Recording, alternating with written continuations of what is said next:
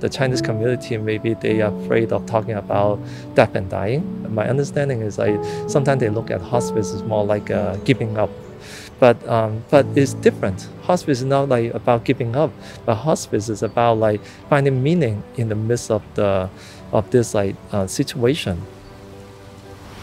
诶见过个屋主婆婆咧点样样诶用呢、个诶、 用呢、個誒、領養服務啦，喺屋企誒過身嘅時候咧，佢係好誒平安嘅，同埋好舒服。咁咧佢亦都唔使即係話成日屋企人要走去醫院啊，要陪佢啊咁。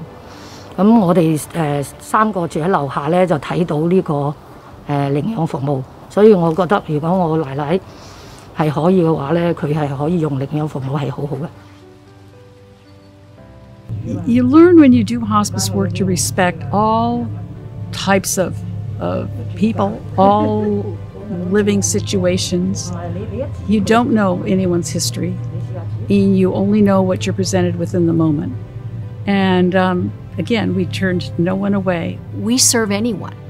We'll go anywhere and serve any patient wherever they live, regardless of their life circumstances, ability to pay.